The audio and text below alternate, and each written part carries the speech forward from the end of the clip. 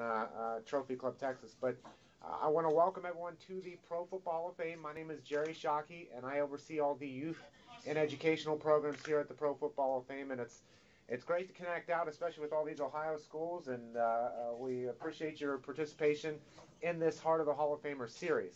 Now, I know there are some schools that are new to this series and some that are kind of veterans, but I think all the students are probably new to this. Uh, just so you know, the real idea and premise behind the Heart of the Hall of Famer series is to convey exactly what it took to get in the Hall of Fame beyond just the athletic ability. Uh, you know, we know that Mr. Eller and the other members of the Pro Football Hall of Fame are great examples of athleticism. And we know that uh, obviously their God-given ability was in pro football, but at the core of what they do and what made them successful and what's made most of our guys, just about all of them, you could say, uh, in some way, shape, or form, have been very successful, if not more successful, off the field than they were on the field. Uh, at the core of that that allowed them to be successful was their character. And I know you all are studying the six core pillars of character the trustworthiness, respect, responsibility, fairness, caring, and citizenship. And we'll dive into those a little bit here today throughout the remarks. And I know you guys will have some questions about those. Uh, but those are at the core uh, of our Hall of Famers.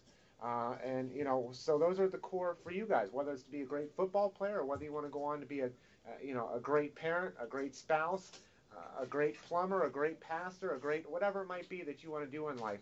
Those are going to be at the core uh, to making you successful. So, uh, thank you for all of you tuning in. What I'd like to do is recognize the individuals that have made this possible because there's a, it's taken a, a team of people to make this possible. So, we'd like to recognize those. And first and foremost, as you guys can see uh, when uh, Mr. Eller speaks, that you see some students gathered around. That's in New Hope, Minnesota. Uh, so we need to thank our folks at Robbinsdale School District at Cooper High School. Thank you for uh, opening your doors to allow Mr. Eller uh, to come into your classroom and connect out to students from all across the country. So uh, Christian King and Jane Prestaback and the, the administration there, uh, thank you for, for the opportunities, uh, this opportunity and the one earlier. without you guys, it wouldn't have been possible.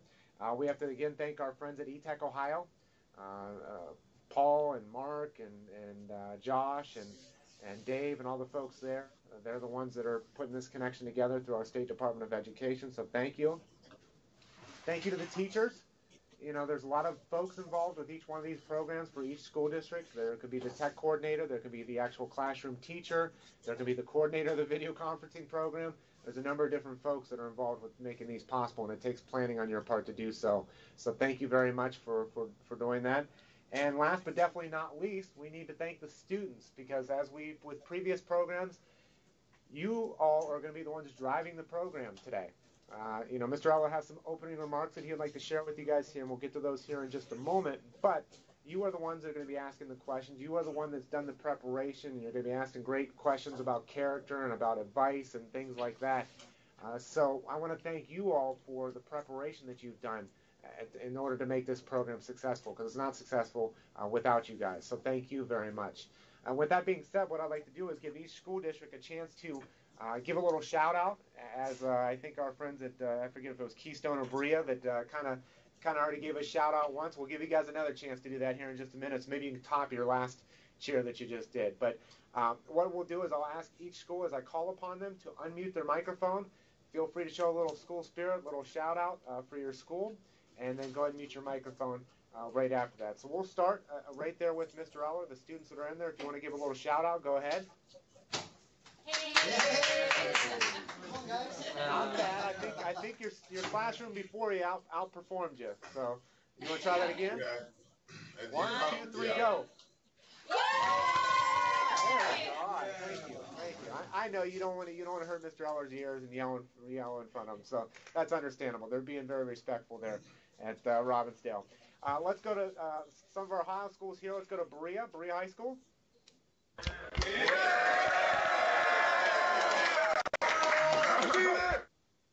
Thank you, Berea.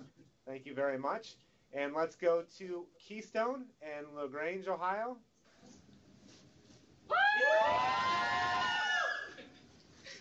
Thank you, Keystone. Very, I like that though. It's very quick and it cut right at the end. You guys like a choir or something in there? No, but we can sing if you want to. Uh, sure, go ahead. Thank you. Uh, let's go to Lake Catholic.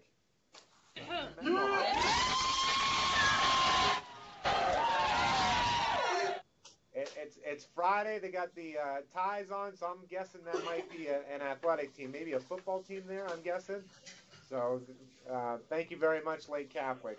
Uh, let's go to Lorain County JVS in Oberlin, Ohio. Yeah!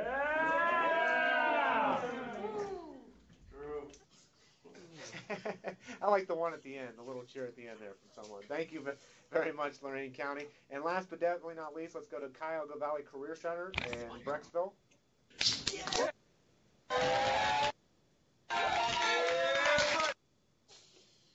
Brecksville, we're having a little audio issue. I don't know if that, that was on your end or not, but uh, uh, we're getting a little cut out there. So just you know, we'll, maybe we'll, we'll see if that happens when we go to the rounds of questions. So we'll check that here in just a moment. But uh, with that being said, what I would like to do is go ahead and introduce uh, our, our, esteemed speaker today, Mr. Carl Eller, and let me let me uh, read a little information about his background, and, and we like to outline our, our Hall of Famers both on and off the field. So on the field, he was selected in the first round of the NFL draft by the Minnesota Vikings and by the AFL draft by the Buffalo Bills. Some of you may or may not know that during the 60s, there was an AFL and an NFL. They merged in 1970 and became the AFC and NFC as we know it uh, today. Uh, obviously, he chose the Minnesota Vikings. If you've done the research on him, quickly established himself at left defensive end on the Vikings' famed. Some of you might have heard this before. The Purple People Eaters defensive line. Excellent at stopping the run and a devastating pass rusher. From 1975 to 1977, before it was really an official statistic, he amassed 44 sacks over those three seasons. Uh, he was named first or second team All NFL each season from 1967 through 1973. He played in six Pro Bowls, and then in 2004, Mr. Eller was bestowed with the highest honor that an individual player can receive, and he was enshrined into the Pro Football Hall of Fame here in Canton, Ohio. Many of the schools here are familiar with the Hall of Fame or may have visited here before because most of you are within a 60 or 70 mile radius of, here, many of the Ohio schools. Um, but off the field, you'll find that he's done as much, if not more, off the field. And I think if you're if you're thinking about the pillars, uh, you know, really pay attention to the pillars of, of, the six pillars of character. Really pay attention to the words uh, citizenship and, caring, because I think you'll you'll see those throughout some of the things that he has done off the field. He's become one of the most sought after speakers on brain damage and head, head injuries that may cause dementia, Alzheimer's, and the National Football League retirees. As the founder and president of the Retired Players Association, he fights for those who have fallen on hard times due to medical, psychological, or personal problems that affect their quality of life. Retired Players Association founder and president Carl Eller is now in a position to help former players from the National Football League gain access to much needed medical care and improve pension benefits. Since his days as a consultant for the National Football League, he has gained national attention as a leader in the field of providing care and treatment for the National Football League, not only current players, but obviously retired players as well. Many of his programs are in use in the NFL today and in sports leagues all around the world. Carl, is a private citizen and as a leader of the Retired Players Association, is active in his community and nationally in green and environmental movements that are invested in sensitive environmental cleanup issues, including redeveloping foreclosed properties on the north side of Minneapolis, uh, Minnesota. He's a small business entrepreneur with a big business attitude. Carl says, My goal is to maintain the integrity and preserve the character of our urban areas while improving the quality of life for its citizens.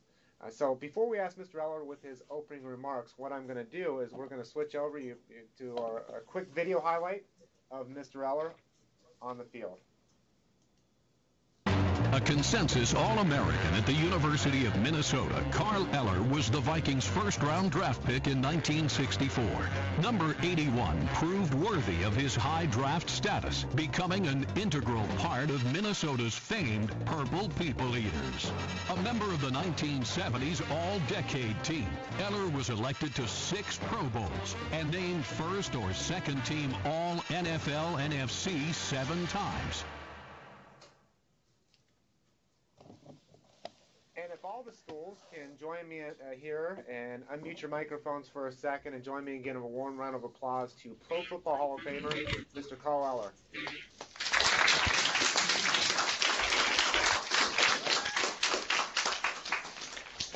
Mr. Eller, the, uh, the microphone is yours first. Let me remind all the schools real quick. Uh, make sure you keep your microphones muted till we call upon you. And the stage is yours, sir.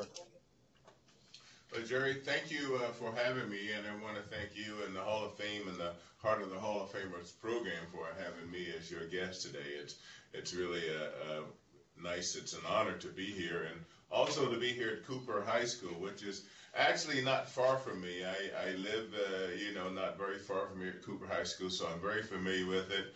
And uh, they've got a big weekend coming up here. It's their homecoming, and so we see a lot of orange around here. But uh, they have been very gracious to having me in their school today. Uh, again, the heart of the Hall of Fame, we are talking about the uh, pillars of character. I think that those things are closer related to uh, some of the values that I've had and held uh, dear to me uh, throughout my football career and, and throughout life. Jerry, I know we were trying to separate, okay, the football from the from the life after football. And uh, certainly there is a big distinction between the two. But I believe that a lot of what I learned on the football field and through playing football and athletics and with teams, those have been the things that I've brought with me beyond football. You know, things like uh, responsibility, uh, citizenship, uh, caring. Those kinds of things stay with you. So you don't just develop these things and, and leave them on the field. I, I, think that these have been some real strong uh, uh, values for me that have helped me be successful off the field. So um, uh, those are the kinds of things I'm hoping we'll get a chance to share today, and and I'm looking forward to uh, answering the questions and, and being with these students today. So it's a real honor for me to be here. Thank you. And thank you, Mr. Eller. We appreciate you taking time out of your your busy day to uh, share with these students, uh, you know, a very powerful message that you shared earlier as well. Um, what we're going to do, students, and, and, and we are going to go through uh, two questions from each site. We're going to go in the order of uh, Robbinsdale, which are the students in there. We'll go Berea, Keystone, Lake Catholic, Lorain County, and then uh, Cuyahoga Valley. We'll go in that order. We'll go from two questions from each. Uh, when I call upon your school, you can unmute your microphone at that point and ask that question. Even between your questions, just so we can eliminate any background noise or distractions for all the other schools tuning in, even after you ask your first question, if you can mute your mute your microphone in between your questions, just so we can eliminate any distractions. And and, and think about this. And I've seen the questions you guys have submitted, so I, I we're on the right track with it. Um, if you think about this, you guys are are talking to one of the greatest football players that's ever played in the National Football League. When you think about, uh, you know, some of the players today, whoever your favorite player is, they aspire to be uh, in Carl shoes someday. And I'd, I'd, imagine if they knew more about his background, and, and many of them are learning about his background as he just was here at the Hall of Fame and addressed every single rookie, including RG3 and uh, Andrew Luck, I think they would aspire to be, uh, you know, the, the, accomplished person that he has been off the field. Uh, but just to let you guys know, it's there's only uh, there's been 22,000 players that have played in the National Football League since it started here in Canton, Ohio in 1920. There are only 273 members of the Pro Football of Fame. So you are talking about the, uh, you know, it's not the Hall of Good, it's not the Hall of Great. There have been a lot of great players as well, but this is the Hall of Fame. These are the very best ever uh, to play. And you guys have the opportunity to ask questions of Mr. Eller, uh, like, you know, what advice do you have? What obstacles did you face in life? What, uh, you know, you know, any any of those type of questions. You have an opportunity to learn uh, uh, from someone who has achieved. So with that being said, we're going to kick things off with the first two questions, and obviously they can't mute their microphones in between their questions because we wouldn't hear Mr. Eller. But uh, uh, Cooper High School, if you got a couple questions, go ahead with your first one there. Um, did you have a male figure in your life? Did I have a male figure in my life? I did. My, my my father was a military man. I was actually born. I hate to tell my age, but it was uh, 42. I have to be honest here. And my uh, dad went off to to the war, so he was gone. And then when he returned, uh, my father actually died when I was a young person, uh, just uh, starting high school. So when I was only just being a teenager, and my father passed away of an illness. Uh, but there were other male figures in my in my in my life that came along from my neighborhood, and maybe we'll get a chance to talk about some of those some of those later. But unfortunately, my father never ever actually saw me play football because he was deceased. So that's unfortunate.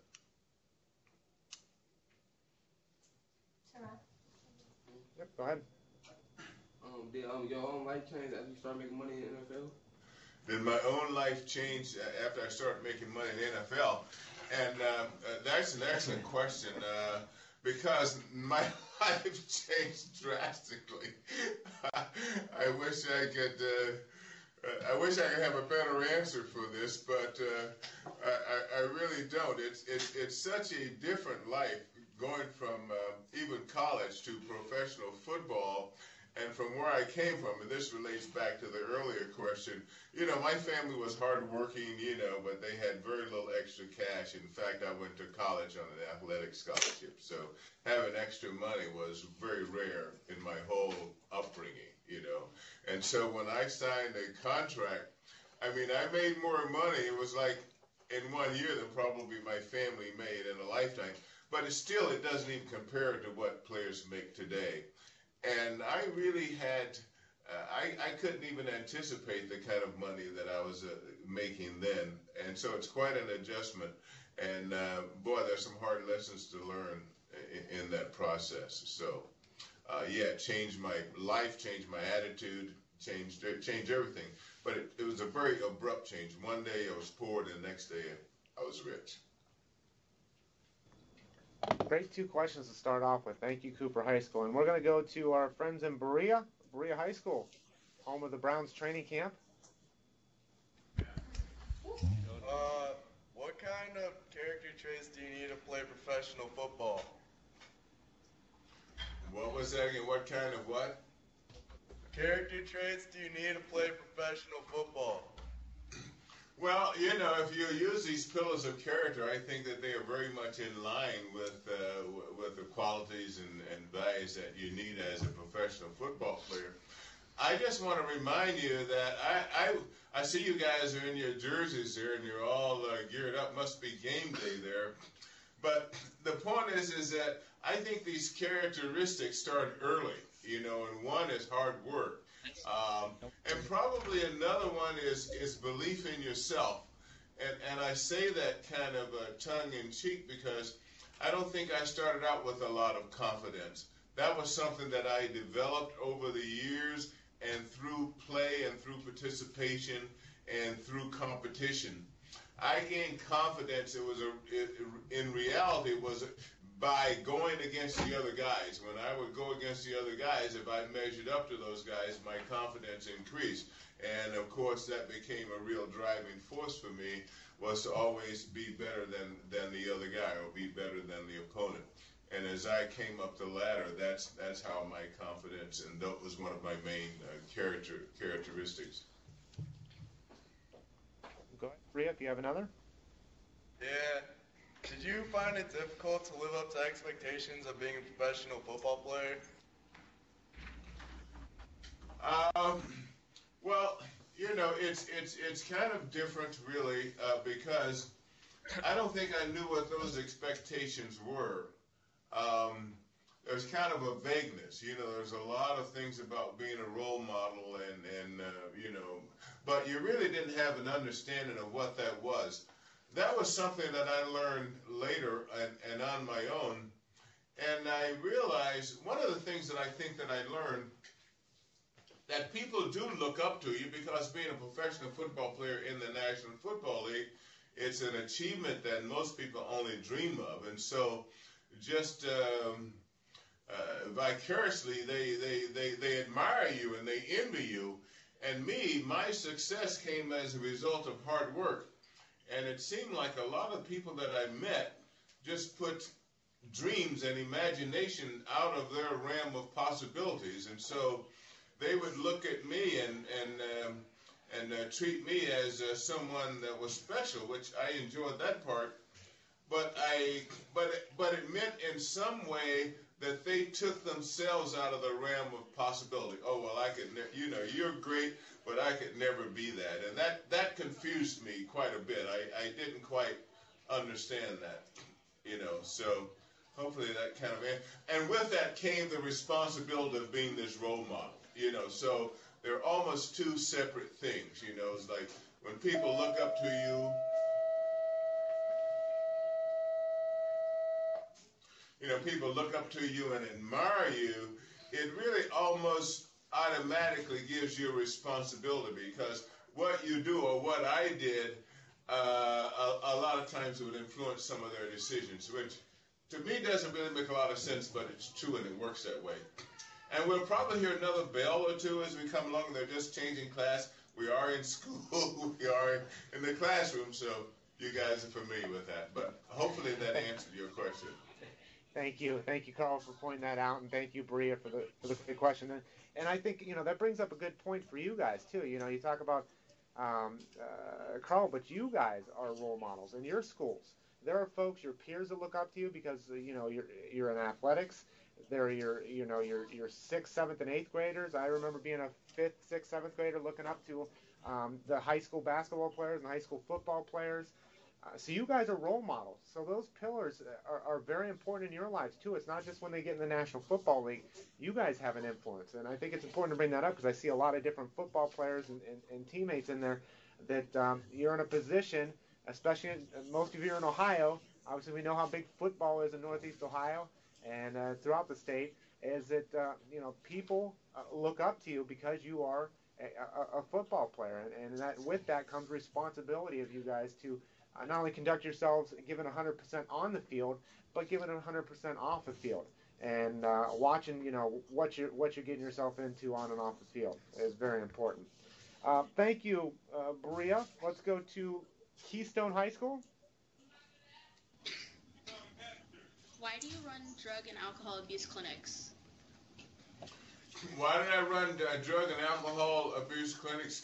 Well, one thing, unfortunately, was that I had some difficulty with that myself. So it was through my own life experiences and, and, and being able to, to overcome that that made me realize that certainly that uh, pitfall could be out there for other people. And so I did a lot of work in prevention and, of course, in counseling. But the idea was, I think that most people uh, are not aware of the resources that are out there, or are they aware of how to deal with it? And, uh, uh, uh, you know, I think it's really important to realize that uh, people do have problems, and there are many times obstacles that are too difficult for them to overcome personally. So uh, there is help out there, and that's what's important. Is that you know if you have problems, the thing to do, and and this is really tough to do. So I'm, I'm familiar with that. It's to find that person or find that you know comrade or, or friend or something or parent that you can talk to, teacher that you can go to, and ask and, and ask for help because I, I think it's unfortunate a lot of times, and we certainly hear about it today, where children uh, or uh, young adults or teenagers that are in this quiet isolation and they're suffering from whatever it is that they're dealing with, and they really don't. The the help is there, they just don't access it, and so that's that's been a real goal of mine. And it doesn't just uh, happen with young people; it's it's something that people deal with all their life. Is if there's a problem, uh, is there help? And the question and the answer to that question is yes, there is help. Great question, great response too. So thank you. Uh, another one, Keystone. How did you manage to stay out of trouble in order to become successful? Well, that's another question. I think it's kind of related a little bit to, to the previous one. Uh, is that first of all, football became a, a, very important. Sports in general became very important in my life, and in fact, it, it, I would say that it probably rescued me at a very young age because, as I explained uh, earlier, as I, I, was attracted to uh, a group that was very negative, but they influenced me because it was a group I could belong to. And we think we find, I know for sure we find that often today, where the requirements, I mean, you can join these groups, a gang or whatever, or a group that's dropping out of school, because they don't require anything of you. You just go along with the situation. And, and, and, and because of that, I found myself fitting in with that group. And, and, and, and ultimately, I separated from that group and started doing positive things as a result of getting involved with sports. So sports rescued me at an earlier age, but uh, unfortunately, like later on in life, I, I kind of succumbed to some other temptations, you know, temporarily kind of uh, set me back. But uh, the great thing that I can say now is, is that I certainly learned from those experiences, and my life is uh, I have a quality of life now uh, that uh, that I just couldn't believe. So my life has changed drastically, and I'm very very fortunate about that. Great questions there, Keystone. Let's go to Mentor, Ohio. Uh, Lake Catholic. Oh, obviously, hard work was required to achieve your career goals. Was there ever a time when you wanted to give up? well, you know, in athletics, I think that that's part of the, uh, the, you know, that's part of the journey. You have to push yourself. You have to test yourself. And there were many, I won't say there were many times, but certainly there were several times where I wanted to give up. Uh, I remember one time way back in college, we had this, uh, uh, we had to report, we had to run a mile. Now, I'm a big guy, I'm lineman, typically don't run the mile. And uh, I came in, and, and the coach was upset with me for some reason, uh, and he wanted me to do it again. And I didn't want to do it because I had trained so hard to, to do it to make it the first time, and I wasn't even sure I could be successful doing it again. And so uh, that was something I, I, you know, moaned and groaned about this. I don't want to do it, you know, and all that stuff. And the coach just basically said, well, this is what you got to do in order to stay on on the team.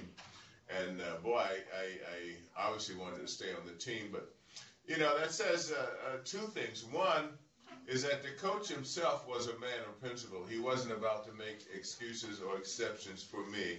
In other words, because I was one of the key players, there was no easy road. I really learned from that myself. That was a great lesson for me. And and the other part of that was is that you know when you mess up, you you you got you got to pay up. You know, there's you know if you make a mistake, you got to correct it. And and that's what I did. And and life went on. So there was a valuable lesson for me there in, in, in a couple of different ways. Thank you for your question. Yeah, great questions today. Uh, Lake, if you got another one, go ahead. Go ahead. What was the most memorable ex- experience in your life? Well, what was the most, you know, probably my kids, you know, and the birth of my kids and all of my kids throughout. It's, you know, um, you know, I'm a parent, and obviously you guys, uh, you guys aren't at this time, and you're dealing with your parents, and you're wondering why your parents are dealing with you the way they are. It's it's it's a it's a great thing being a parent, but I can enjoy it now because my kids are adults. And I know for me the pleasure I had when they were young kids and the things that we had to do, many of them they didn't like, like study and do the homework and stay in class and go to school and all those things that we talked to them about and, and insisted that they do because uh, uh, parenting, I think, is a very difficult job. But the, but the most important job is to be there and to, and, and to be available to your kids. And uh, now I'm a grandparent and I can see them doing the same thing. So I'm feeling really, really good about that. That's kind of an overall thing. But in playing, you know, and in, in, in, in sports, uh, being successful on the field and, and being rewarded with uh, getting into the Hall of Fame, I mean, those are those are wonderful achievements, things I'm really proud of. But uh, really, they they're they're on that level with. Uh, and being a parent is not necessarily an accomplishment, but you do have to be a parent. So th- that's part of it. And and and but by doing that, I can enjoy what was laid uh, in their early years. So that brings me enjoyment, uh, you know, every day. Well, being a parent is definitely work. oh, for sure. Non- non-stop work, non-stop work. So thank you, uh, Lake Catholic. Uh, let's go to Oberlin to Lorain County JVS. Got a couple questions. Go with you first. Yeah, what life lessons have you learned while playing in the NFL? One of the life lessons I think that I've learned that sticks with me today, and I think is one of the one of the big things that I got out of football and out of sports in general is is that as a football player, you learn to face obstacles, and sometimes those obstacles seem insurmountable. And what I mean by that is is that Bob Brown, who's another Hall of Famer, we we we, graduated uh, from college in the same year, and we went into the Hall of Fame the same year. So our careers parallel. So he was an offensive tackle. I was a defensive end. Means that we played against each other from college and pros and you know on and on. And he was a tough guy.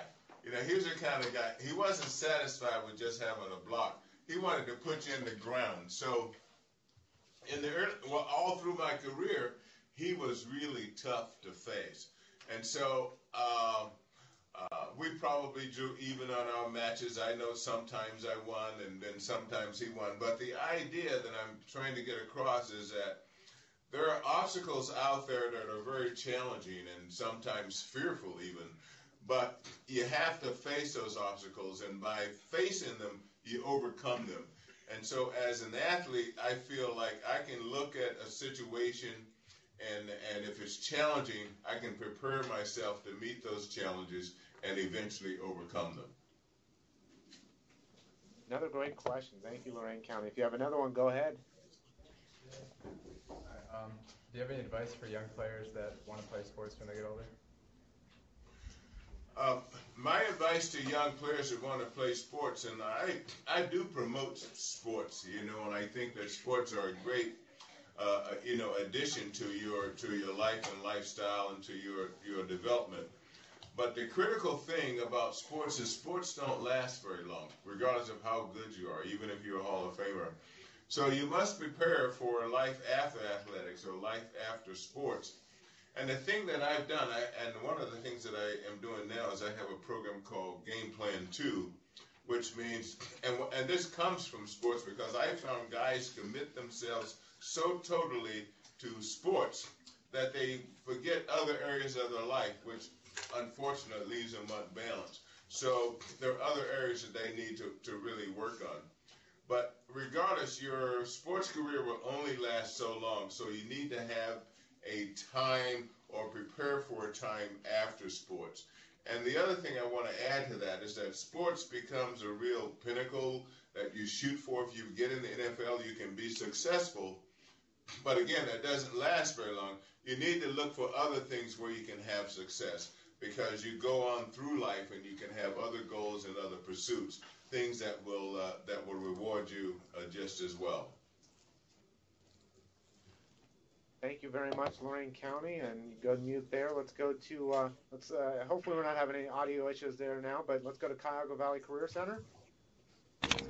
Okay, Jake. Mr. Eller, a lot of the young kids' dreams of playing in the NFL. When did you start playing, and when did you seriously think you could really play in the NFL?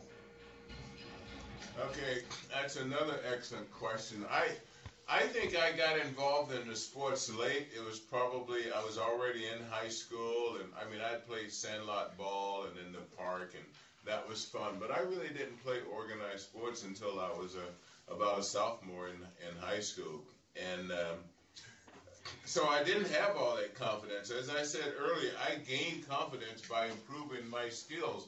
And, and at every level where I was successful, that prompted me to move on to the next level. So I was successful in high school. I was on a team that was successful. We were state champions. I was all state. And so then that encouraged me and supported the idea of, well, going on to college. And of course, getting a college scholarship was, was, was important.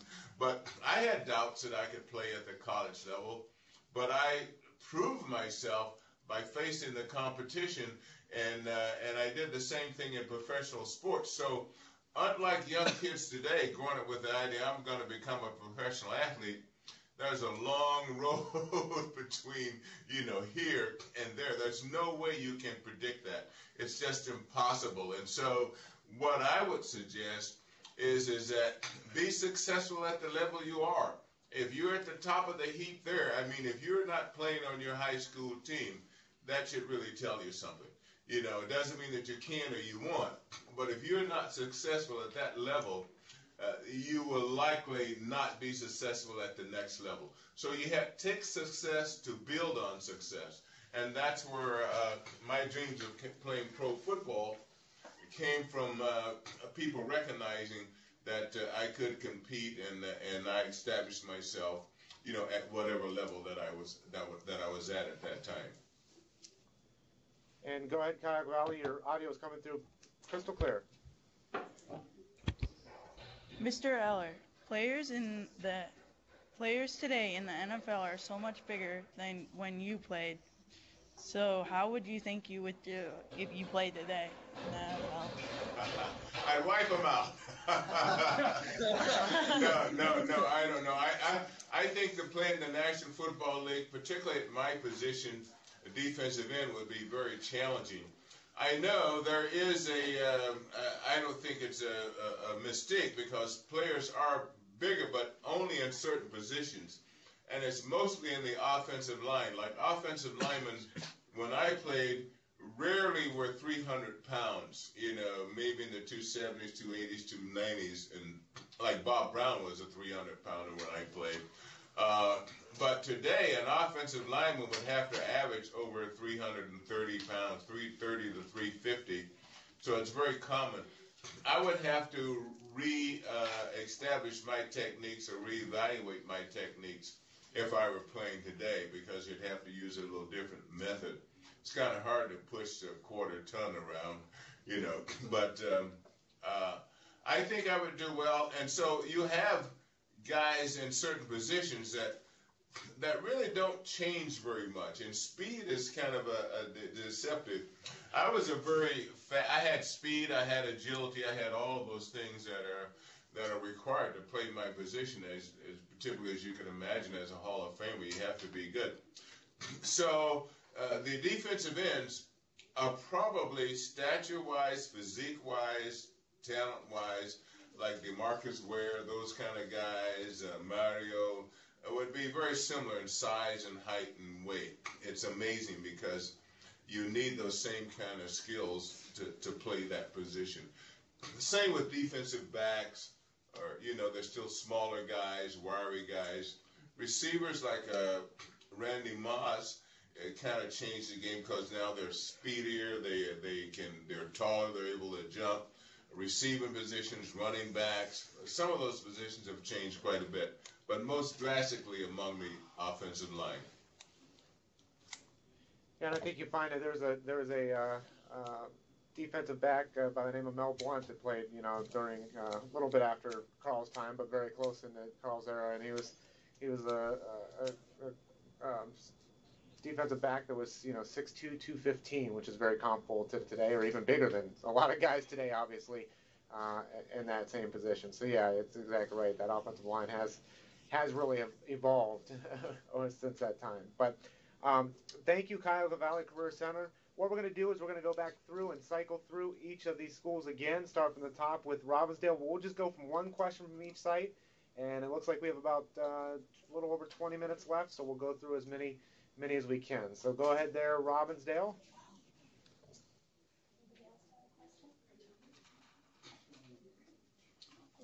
Okay, here's one. Uh, was it hard trying to balance your football career with also trying to be a parent? Uh, the question is, did I have a hard time balancing my football career and being a parent? And the answer is yes. And and the answer is yes because as a football player, there are certain things that go along with the with the job itself. You know, there's travel, there's training, there's all those kinds of things. And the one thing that I think that's the toughest about being a football player is is that it really does consume you, you know, and, and I don't think that many people realize how difficult that is, the intensity of the sport.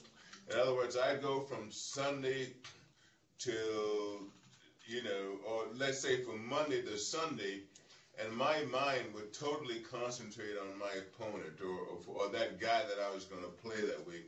So mentally, you were you were not really available, and and and that's a cost that parents uh, uh, you know, or families have to pay. But um, you know, you have the off season which you compensate, and so you spend time. We go to trips and we could do things like that. But but man, it's really hard. I think it's hard on families because these football players are so intense. You're so consumed uh, because the level of competition is like so high. You can't really afford to make a mistake or, or you know, because it could be your job or your career. So I think that the families do suffer from that, and, I, and I'm sure that my family did as well. And so when I talk about being a parenting, it's like going back and enjoying those moments that I had then, but also now that I can I can spend time with my kids and my grandkids. So that's it's almost like in spite of the fact that I was a football player, my kids really turned out okay, and they they were good kids and uh, kids I'm really proud of. And of course, their mom had a lot to do with it. I can't take all the credit, or I shouldn't take very much of the credit. But but no, it is it is nice, and and I'm just very happy and fortunate that my kids are are you know are really good kids, and and and they're fortunate too that uh, you know from the football experience they were getting a, a chance to enjoy a lot of things that football uh, offered them, offered us as a family. Great question. Thank you very much, Robbinsdale. Let's go back to Berea.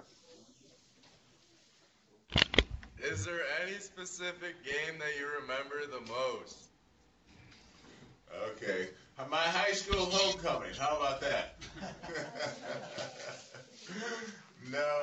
Well, you remember a lot of games, and and uh, really the thrill of uh, playing high school is kind of where it all starts, you know, and it's a fun time. It's a time to really, uh, you know, set your sails, I suppose. But uh, you know, there were a few games that I remember uh, that that stand out. I think the game against the uh, Los Angeles Rams when I tackled Roman Gabriel uh, for safety in, in, in the end zone in that game, and that gave us a margin that we were able to win that game, and we went to our first Super Bowl.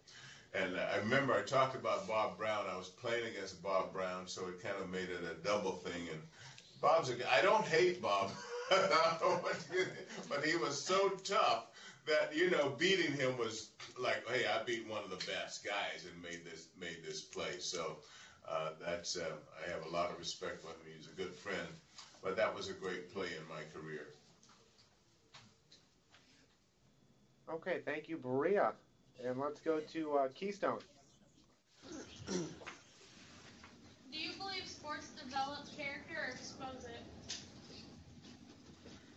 Well, I believe sports develop character. And what was the last half of that question? Or expose it. Oh, okay. Uh, well, in my case, I think sports develops character. Um, it's a good question, a good way to, to frame it. I think because it challenges you you know, and it challenges your character. Uh, and maybe in some ways it exposes your character because if you're not strong, if you don't have a good core, it will expose your weaknesses and it will expose your your frailties. So uh, I think sports develop it because the one thing is that when you play sports, you're in the spotlight. You know, it may not be a big stadium or TV or something like that, but on the field of competition, there's really no place to hide. So if there's fear, you know, it's going to show, and you can't be afraid when that guy is across you. You have to stand up and match that guy. I think it really develops uh, character. Thank you very much, Keystone. Let's go to uh, Lake, Lake Catholic. Go ahead. Uh, yes, no, you're up. Out of the six pillars of character, which one helped you through your most difficult situations? Uh, well, well, well I, I think there were some things that are just kind of natural, as Jerry mentioned in the in the beginning of the of this uh, show. Uh, was that things like citizenship and caring. I think that those are important you know, to care for your fellow man or your teammate or whatever. And um, I think that that's that's important. I think citizenship is important because we all play a part in you know in our communities and the kind of communities we live in. And uh, we all have a responsibility to that. We have a responsibility to what our life is like. And I know a lot of people, and you hear this, and particularly now, is that somebody else is to blame for our situation and, and the environment that we live in. We cannot live in that environment unless we accept it, and we have the ability and the responsibility to do something about that. So, whatever environment we live in, we have to share some of that responsibility for, for whatever that is. And uh, maybe one man or one woman can't make a change, but that's where it starts. And so those are uh, those are important.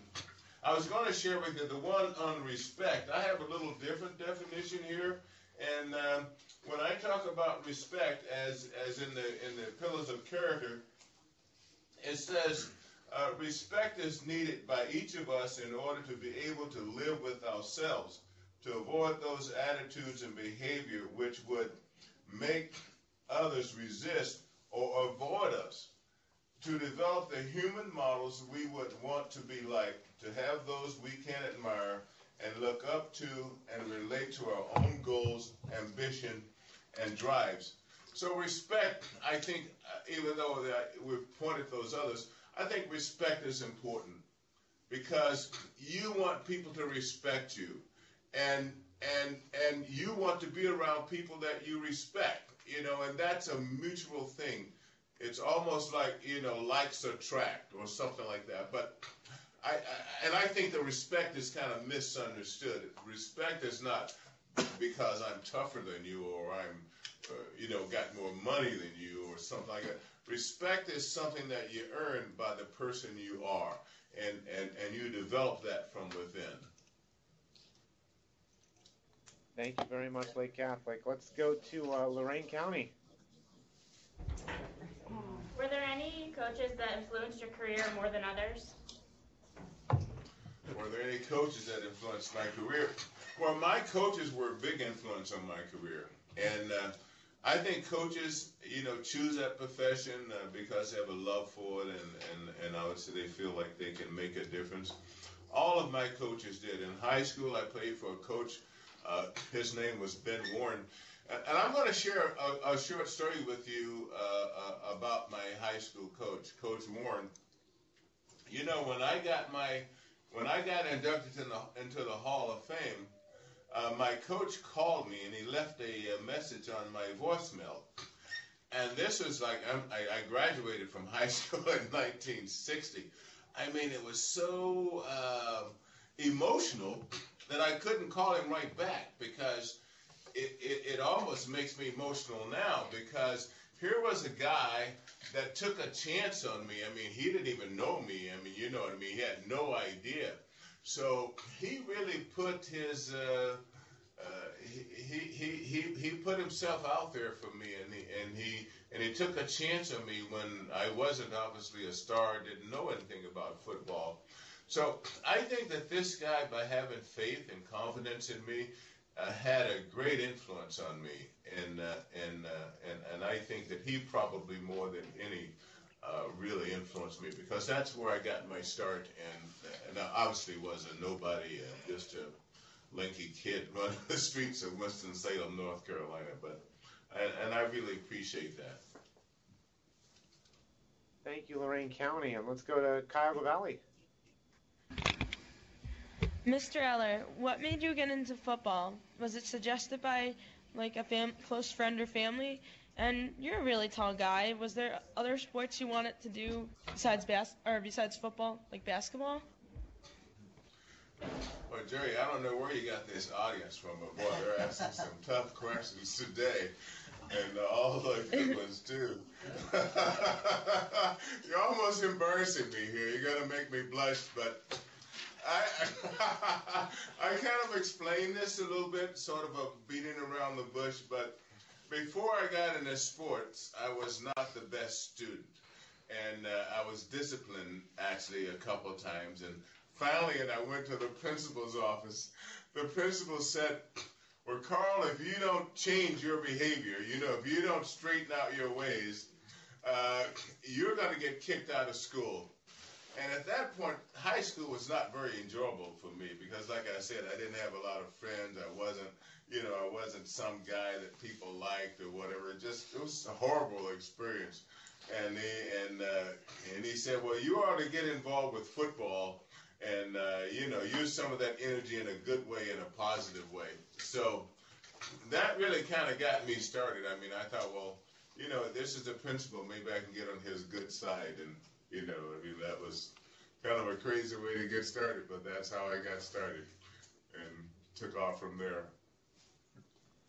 You know, I, would like to I'd like to say, Carl, that it's uh, all the uh, great Ohio schools, being that I'm a born and bred Ohioan as well. But uh, we had great questions last program from schools uh, from other states too. So I guess we can't take all the credit here in Ohio for being uh, wonderful students because there's a gr- group of great students asking questions right beside you in uh, Minnesota. So um, but we've got time. Uh, uh, we'll try to rotate through maybe one more time if we can. Robbinsdale, if you have another question. Let me, uh, Jerry, I wanted to do this in the last show. Is I want to ask them a question. Uh, maybe I ask this group a question, and they, there's been no prep for this, but I'm going to ask them. Anybody can answer. What's uh, what's your biggest challenge here in uh, school today? What do you find uh, things that challenge you? What kinds of difficulties do you run across? Where is it? In the classroom? Is it in, you know, playground or where? Just anybody? If any of the other schools are on mute, okay. in, go ahead. Uh, like some of my difficulties is like in school, like like I really don't enjoy like science and and geography and stuff like that, but I gotta get it done, so I, I try to push myself. Okay, so he's saying his challenges are in the classroom, and and that's a good point, you know, because um, uh, some people in general have a, uh, uh, a tenacity to be good at certain things, you know, and uh, and school really forces you to have a broader outlook. You know, not outlook is probably not the right word, but things that maybe aren't as easy for you, and so what you have to do, and this is my piece of advice, is to really spend time in those things that are difficult for you. Because those will be the things that will challenge you later on. It's like math, particularly, and I was not really good at math, but it is something that if you master now, it's, it's going to help you. And that's just not a fairy tale. So don't, avoid, particularly the things that are hard, don't avoid those things. Those are the areas where you need to work and and uh, and those will be the areas that will pay off later on. So, uh, but that was an excellent question. Thank you for that. And any other schools want to? Well, we can let you unmute the mic if some, one of the other schools want to give something that they they had struggle with. Yeah. Go ahead, David. Are you have you ever got bullied for in high school? And you have any, any advice of people get bullied? Man, I quit, Jerry. I know. these, kids are good. These, are, these young men and women. These, these questions are too tough for me, man. you sure you didn't plant some of these guys in there somewhere?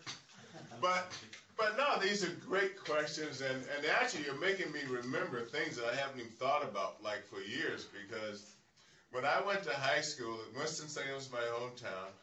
Atkins High School was my high school, but I transferred from a school called Columbia Heights School, which was like a middle school or whatever, elementary school. And they had this reputation, you know, like, oh man, when you go to high school, they're going to really get you, man. They And they had a guy that was a big guy, and I'm a big guy, but this was a big guy, and his name was Chicken Wing. and they called him Chicken Wing because he had something wrong with his arm but they would have this story, man, that this guy was going to get you under his arm. It was just going to like really menace you and choke you and beat you up and all that stuff, man. I was like so scared, man. You know, so yeah, it was. But I avoided that guy. I knew who he was. I didn't go around him, and so I avoided that guy. So maybe that's a method. But the thing is, is that. Um, you know, the way I think about bullying, and I know they're addressing this on classes and on campuses and all that stuff today. I think bullying is part of a test. You know, I don't see bullying as bad, and I know maybe I'm going to kick me out of the classroom right now. You know, but the point is, is that you're going to get tested somewhere, some way. You know, and you can't always back down or run away. I'm not saying fight or do something like that, but the bullying is to really test your mettle, let's say what it is. And, and what it does is it makes you basically step up. Either you got it or you don't. Now, somebody will say that's unfair or that you shouldn't be challenged that way. I'm not of that school. I'm saying that life itself challenges you. And you don't know where you got, you could call life a bully just because something is unpleasant or I don't agree with it or it's hard for me or that it's not my cup of tea, should I avoid it? I don't have I don't share that philosophy. I share you deal with problems as they come and you learn to overcome those problems as you face them. Thank you very That's much, a- sir. That's a great point, Carl. That is a wonderful point. Uh, and I, I, I tend to agree with your philosophy as well. Uh, does anybody else have one that they wanted to throw out there? Another issue that they Uh, face? Well, just we back on the football field standpoint. Obviously, we know he's the best defensive lineman of all time. We want to know his Hey, opinion. right. Who, yeah, we want to know who, in his opinion, is the best running back of all time. On a lighter note. Oh, what, what was that comment that I heard? Who, who did you suggest over there? Did I hear a name I, I come just want to know. You're the best defensive lineman. I want to know who the best running back is. Of Jim Brown. Time. Jim Uh, Brown. that's what I thought I heard, yeah. Okay, well, Jim Brown is certainly one of them and probably might be the best running back. I did get a chance to play against Jim Brown uh, at the latter part of his career. Our careers sort of overlap there. And uh, he gets a lot of respect and is typically thought of as certainly being one of the best. He's kind of the guy, uh, he followed a guy named Marion Motley, and you probably know that name in Ohio because he played for the Cleveland Browns too. Uh, but uh, Jim Brown was one of the better ones. I think that Gale Sayers was one of the better ones because he was speedy and quick, and if he got past the line of scrimmage, he would just. It, it was hard to bring him down. I mean, we would actually sit in our, you know, uh, uh, uh, training rooms or our study rooms where we watch films, and we'd say, "Wow, look!" We were amazed as as the opponent team that we were going to play. It was going like, "Wow, that guy's amazing!" Because he would do such incredible things on the field uh, things that even we hadn't seen before. So uh, uh, Gale is certainly up there with Jim Brown, uh, guys like uh, Tony Dorsett or Franco Harris. I can name a lot of them. Our own Chuck Foreman was a great running back. Uh, you know, there are a lot. Each each period brings along a style, a player. You know, that's um, that you know that's up there in that quality and. And uh, you know the, the, the national. One thing great about the National Football League is that when you play in the National Football League, you realize how great these guys are. It's not it's not hype. So, yeah, there were a lot of great ones. I think these Ohio schools were setting you up, Carl. They wanted you to say Jim Brown, just the, the, Uh, the yeah, Browns. I- I- you know, they were they're setting you up for the for the Cleveland Brown uh, shout out. But uh, uh, Mr. Eller, I know we've we've covered a lot of different things here today, and we got just a couple of minutes left. Are there any closing remarks, either something you've shared or some, uh, you know something you'd like to reiterate, or something we haven't talked about that you'd like to share with these students today? Well, uh, first of all, Jerry, I want to thank you and the whole crew for putting this together. This has been great for me, wonderful, and the questions were very uh, challenging, actually, uh, because they reminded me of things I haven't thought about in both sessions today. And, and so I want to compliment the students in this session, in this classroom, and the other classrooms for their preparation and, uh, and all the work that they have done. Um, you know, I just have great uh, faith and confidence in um, in our students of today. Uh, what the word I want to leave with them. Good afternoon, Cooper students and staff. Uh, please excuse the interruption. I'd Of like course. to make a few announcements uh, prior to our Pep Fest here this afternoon. First of all, I'd like to remind everyone that if you need to go to your lockers, you will only be allowed to do so between Hopefully, this isn't a 10 minute 8 hours. announcement. You won't be allowed to go to your lockers I hope we not. dismiss you for the Pep Fest. So if you need to go take some, put some things in your locker or pick some things up, please do it then. We will dismiss you by floors this afternoon. And when you enter the gym, please look for your grade level sign as to where you should sit. Also, remember to be respectful as we cheer our team on. Respect. There we go. Tomorrow's festivities will kick off at 12 noon with tailgating. It's going to be a lot of fun. There's going to be a lot of activities going on. The game will begin at 3 p.m. The cost is $4 for students. The homecoming dance will start at 7 p.m. The cost is $11. You must be a Cooper student to attend, and you need to arrive by 8 p.m. to enter. And remember, go Hawks. Well, there we go. That was great timing.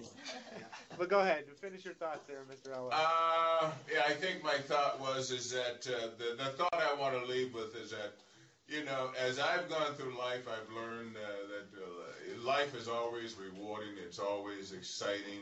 You know, there's certainly ups and downs, but but all in all, man, life is exciting and challenging. I continue to learn. I continue to accept challenges and uh, and uh, really just have confidence in yourself. Really believe in yourself. Not that you know it all and you have it all, because I don't think anybody does, but that you have the capabilities of learning, changing, developing, becoming the person that you really want to be. And, and, and every one of these students, wherever they are, have that potential and have that capability and I can tell you, I, I kind of walk away from today with these groups of students that we've that we've had here today. Just you know, the, the caliber of questions and the preparation is just a sign of, of the, the type of character that these students and these teachers have. So I walk away with a good feeling of our of our youth today, just from uh, you know the schools that we've connected with. I don't know if you feel that same way from this. I certainly do. Uh, they're, just been wonderful. I mean, uh, everything has been fantastic. Again, back to the work of putting this together, I think it's a great opportunity for kids to connect or young people to connect. And I too am walking away with a lot. So I've learned a lot here today. Well, uh, Mr. Eller, on behalf of the Hall of Fame and myself and uh, Steve Perry and everybody else here that you know very well, um, I just want to say thank you for taking time out of your day for um, uh, you know spending time with these students and sharing a really a really uh, powerful message um, to these students. And students, if you want to join me for for time being here and unmute your microphones and join me in saying thank you and giving a round of applause to Pro Football.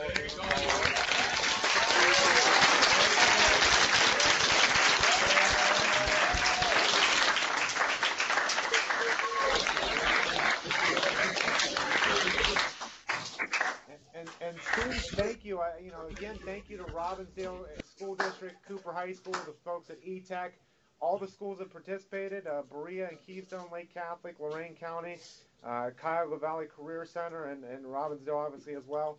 Um, thank you for uh, the connection today. Thank you for the teachers for preparing them, and uh, uh, hopefully we get to. Uh, most of you may have been here before, but hopefully you make the trek here to Canton, Ohio, to see the Pro Football Game someday.